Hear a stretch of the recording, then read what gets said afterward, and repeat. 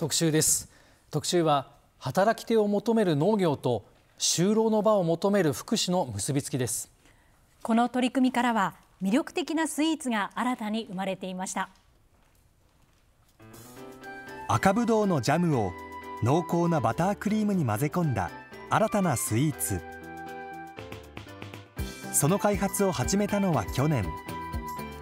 手掛けるのはクリームパンなどを製造販売する老舗の八天堂です。最終的にはあの色味のバランスを考えて赤ぶどうでいこうと。確かに赤ぶどうの方が映えるね。映えました、うん、はい。味があの社長に新製品を提案するのは八天堂のグループ会社八天堂ファームを率いる林さんです。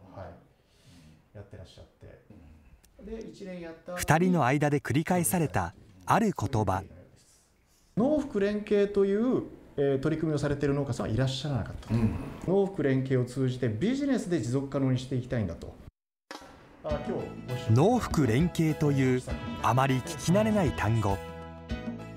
これは担い手不足が進む農業と障害があったり引きこもる一方で就労の場を求める人たちを結びつけそれぞれの課題解消を図る取り組みです発展堂ファームは竹原市の社会福祉法人と連携。障害のある人などが育てた農作物をスイーツに加工。付加価値をつけて事業を続ける仕組みを目指しています。こちらが2021年の1月から作業を開始した発展堂ぶどう園になっております。農福連携の舞台に選んだのは竹原市小梨町に広がるぶどう畑。後継者がおらず長らく放置されていました。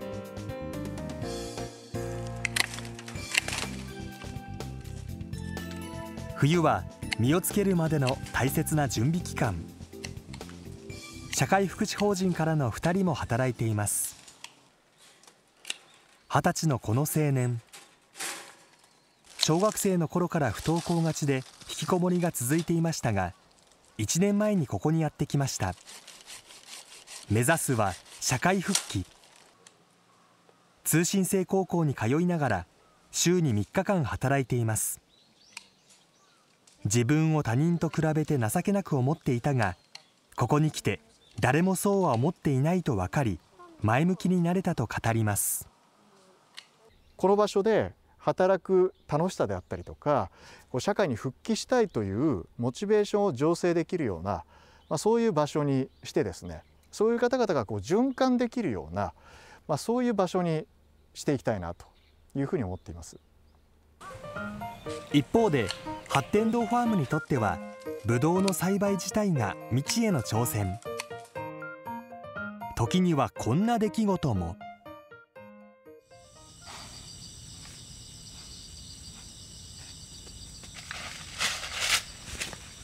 9,000房袋掛けをしたうちの5,000房イノシシに食べられると。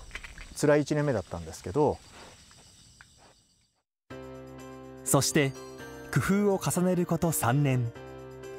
シャインマスカットなど10種類1万5,000房を収穫するまでになりました。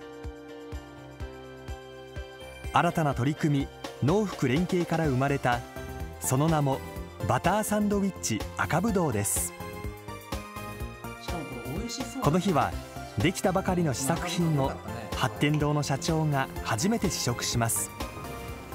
商品化の可否を決める瞬間です。うまい。ありがとうございます。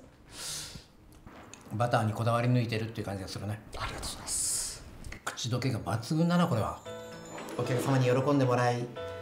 またその向こうにあるね脳服の部分に貢献できればなという感じがするね、えー、ぜひ一緒になってやっていきましょう。